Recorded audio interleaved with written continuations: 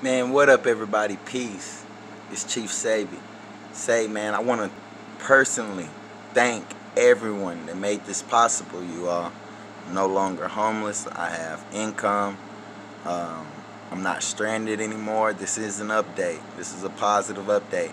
I'm gonna get the streaming back going. Hey, say, man, like, your brother, like, really appreciate everything that was done for me. Like, no cap no bullshit.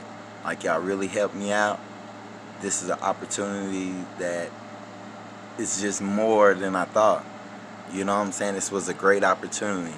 I love you all and it's much peace. Your brother is safe. I made it back to Texas. I made it to my job. Hired.